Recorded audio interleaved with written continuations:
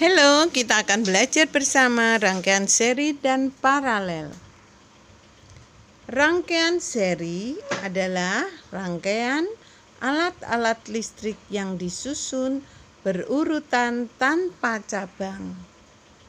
Ciri-ciri rangkaian seri, komponen disusun secara berurutan, hemat kabel dan saklar.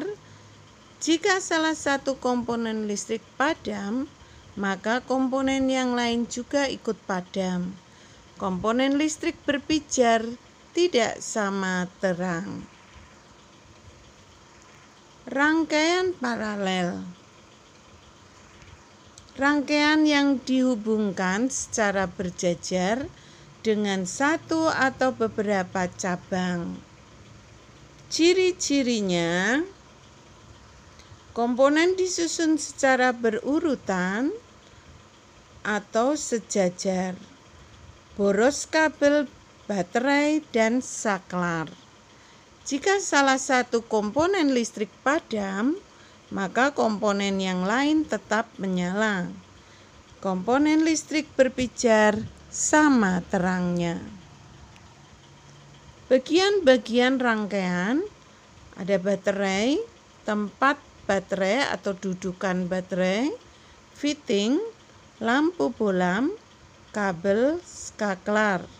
Alat yang digunakan gunting isolasi. Mari kita akan bersama-sama mencoba merangkai rangkaian listrik seri atau paralel. Ya, untuk menyambungkan aliran listriknya. Terus ini kita sediakan batu baterai dan ini ada saklar dan ini ada lampu ya untuk pembuktian kalau ada aliran arus ya. Dan ini adalah rangkaian paralel.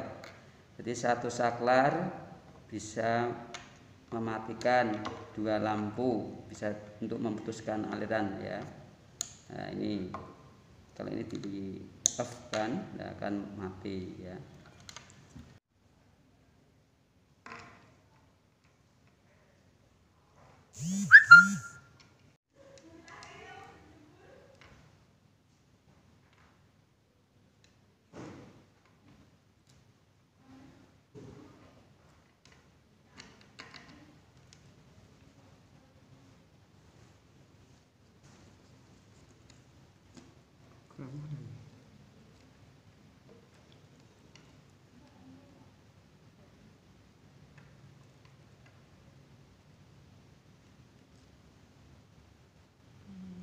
Menyalakan. Nah,